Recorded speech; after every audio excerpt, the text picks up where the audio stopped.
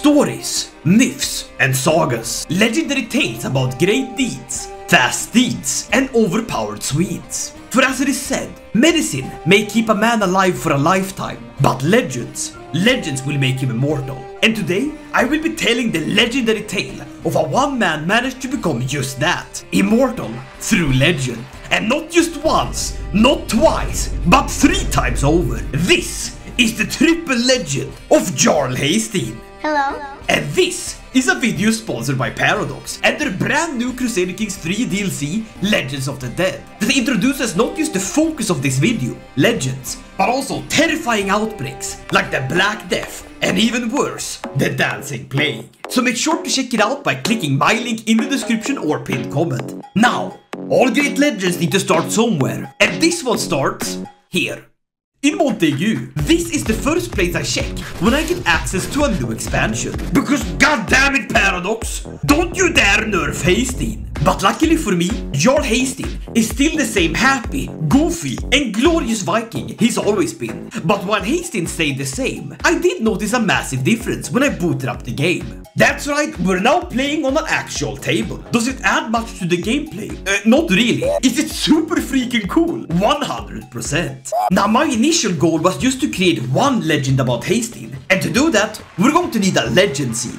Basically, it's a myth, idea or fabrication that the court chronicler can spin into a full-blown legend. We started the game with Gothic kings, a seed that would proclaim us as the true heirs of the Goths that sacked Rome. So off to Rome we went. We easily sieged down their holdings, fought off the Pope, and to add insult to injury, and to 100% legitimize Haesteinn as the new Roman ruler, we stole the Pope's hat. And just that, legitimacy, is one of the new things added in Legends of the Dead. It's basically a measurement of how worthy others see you as the ruler of your realm. Low legitimacy means big problems, while the higher your legitimacy climbs, the better your bonuses get. So after having conquered Rome, we also set about conquering some nearby independent counts. And with each conquest, our legitimacy grew. We then spent some years getting settled into our new home.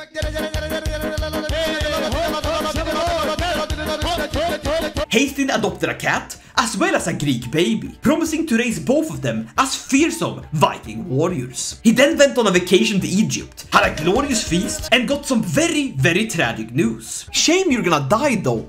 I would have liked to see what you could have pulled off, man. But so far it looks like someone pulled off your arm. And after all of that, we decided that now was the time and started the process of hiring a court chronicler, as both of those can help us in spreading our legend. This proved to be uh, somewhat difficult, as the only qualified court chronicler was a Frenchman I had brought along with me from Montaigu. I tried to do the two for one special by marrying him to a Catholic woman that had the poet trait, but for some reason they were reluctant to get married. And it might have something to do with the fact that I wanted to wed them, as I am technically the new pope. Safe to say, they quickly left court. But in the end, we got Alfur as our court chronicler, and his wife Ylva as the poet. And it didn't take long for Alfred to come to Haesteinn with great news. He had figured out a legendary seed.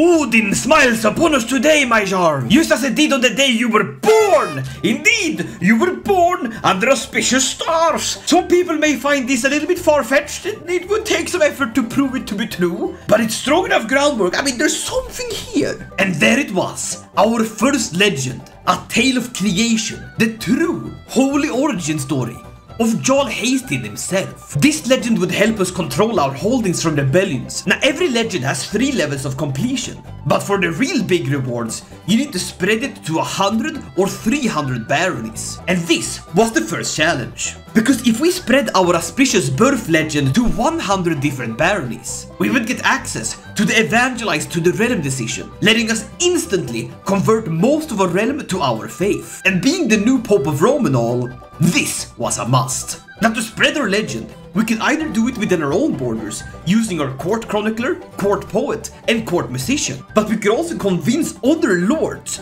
to adopt your legend and spread it on your behalf. So with the legend existing in only one barony and 99 more to go, we got to work. And let me tell you, the road to becoming a legend was a windy one. We raise the raiders and go earn enough gold so that we can spread our legend. And we're gonna hit up my favorite spots, Mallorca, and then go straight for Cordoba. That's what I love to see. Glorious gold for me. I'm just gonna walk out of here like a shoplifter at Walmart and realize that I have another son. How many kids? Listen, buddy, I'm not raiding to create a realm. I'm raiding to pay child support. But at least I managed to gaslight Polycarpus Caesarioson to become a Norseman. We now have enough gold to form the kingdom of Romagna, making us a mighty, glorious king. What? What? Prince Ragnar, my son! He was killed by King Charles! You pig-headed bastard, you leper! Well, I guess I'm talking to my granddaughter. What's up, Ingridder? Sorry about your dad, my son. Erotic dancing, holy moly, you are right, Hastings. That is, god damn! She's hitting that gritty like no one else. Holy moly. Yeah, buddy, she's my lover now, and her name is Ambrosia. Yeah, that is, that is, oh god, Hastings, she's 16. Wow, Hastings! Ew! All right, I totally forgot. My son died, and I have to give him a proper funeral. God damn damn, he really is dead. He's, he's doing the Nosferatu special. Now someone's trying to kill my wife. Who the hell? Hey, wife, okay, listen. Someone's trying to kill you. What happened to my brother? He's in Valhalla! That's very comforting to hear for a child. but who is this Major Snoring? Buddy, we're gonna have a funeral for your hairline next. We're just gonna toss him into this hole, but his mother is completely overreacting, throwing herself at the ground, hands coating her in the eyes. God damn. What if I cry louder? hey, I'm the best parent! Please, let's just burn this guy so he can go to Odin. Björn! He's been murdered! No, not Björn Hastingsson! I just buried one boy. I don't want to bury another. Who the heck is killing all my kids? I'm suddenly stirred awake by the shrill screeching of metal on stone. I shoot awake and see a shadow figure standing at the edge of my bed. Her toothy grin, the only thing that I can see illuminated. She's holding a dagger. Then suddenly, I wake up once more. She marked me with a visit. I fear that I will be collected by hell very soon. Now, buddy, I'm going for that immortality. Let's go! But as I'm strolling out in the woods, it is all dark around me. Just ahead, a solitary light. I walk across this void towards that single spot of light. And I see a lonely figure dressed in all white who looks like an older version of me. He smiles at me with a kind of warmth only a father can give. Do you know why I made mortals die, Hasty? It is what separates you from me. You know how precious life is. Your eternity in Valhalla is coming, but for now, there are people waiting for you. Odin! Gotta die so I need to do stuff now. A man with a trumpet blares in my ear. And he was a gallant, and she was beautiful. And he was a hero, and he was beautiful. That is a horrific song. Wait, it changes the chapters? When Hastings' spouse came to him one morning with alarming rumors, Hastings made Hastings promise to honor... Holy moly! It changes the story! Do I dare say I was raised by a boar? Sure. She mocks me. No. No, No, let me read. What did you change? Hastings Ragnarok became lost as a child and adopted raised by a boar. Many speculated this is cause for his alleged ex... ex... What? Hastings has had it up to here. He needs this legend to spread, but no one wants to spread it for him. We're gonna go on a conquering spree and get as much land as humanly possible. We're setting everyone to just extol the legend. This stuff needs to be spread, and it needs to be spread now. That means we can seize Tuscany, which is a whole lot of counties. The glory of the hasty birth, it shall be told. We will gaslight our way through history. We will get the word out there. My dad was a boar. One heck of a statement, to be honest. And give me Tuscany. With more land, it should be easier easier for me to spread this. No! No, they're spreading the measles! In the land of my son! In Foggia! Is that dangerous? Yep.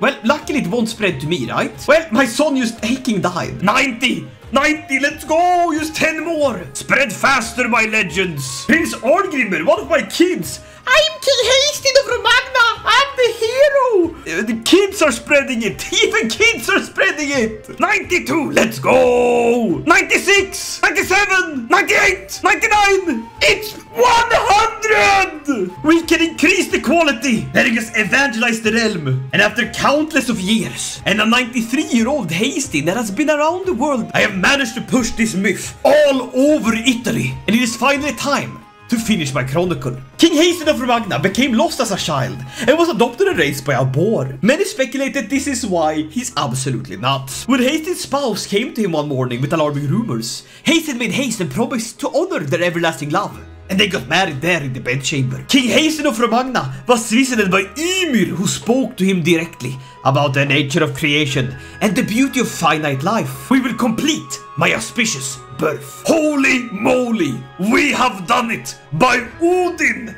This is a blessed book. I've done it! I, I mean, I can't believe this. Also, why is Sweden here? Either way, it is time to evangelize the realm. A legendary tale of devotion has gripped the hearts of everyone. Let's see how overpowered this is. Holy moly! That's so strong!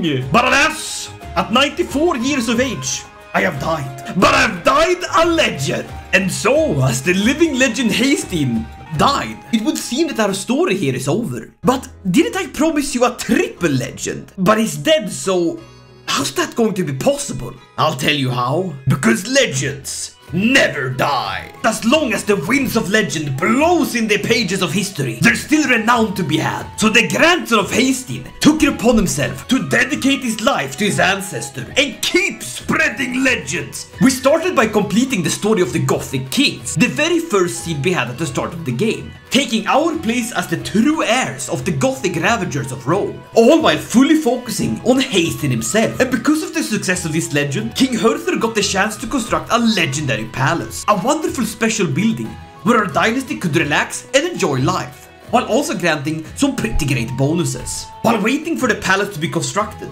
we took the time to create one last legend, this one focusing entirely on praising the great deeds of the glorious Haesteinn while he was alive. With this completed, the people of our new also true Roman kingdom firmly held the tales and legends of the ancestry, birth and life of Haesteinn, completing the circle in telling what was before, how he came here, and what he did. Or as you yourself would hear it, if you stumbled into a cozy tavern on a dark evening.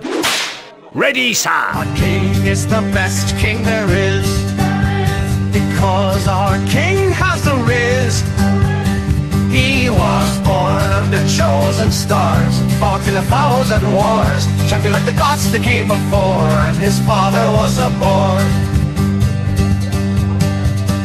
Austin, our legend and our king It is for you that we dance and we sing. The chosen of our people The strongest of all men Austin, a legend to the end.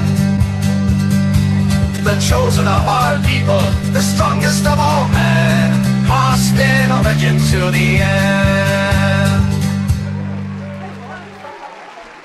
And that, my friends, will have to be the end of this great and glorious first peek at the Legends system in the brand new Crusader Kings 3 DLC Legends of the Dead, sponsored by Paradox. Make sure to check it out by clicking my link in the description or pinned comment, as it really helps to support the channel. There's way more glorious adventures to come, full of both legends and plagues, so I hope to see you guys then. Until then, stay legendary!